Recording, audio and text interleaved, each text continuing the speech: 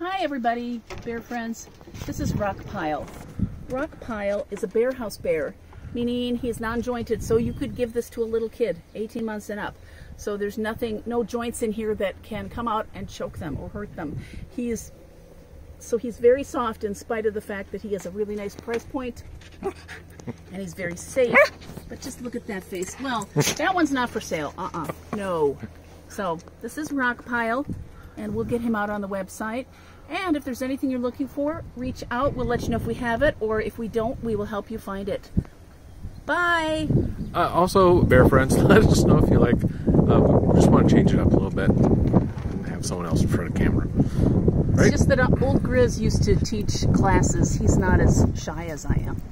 Oh, I don't know about that. Okay, bye.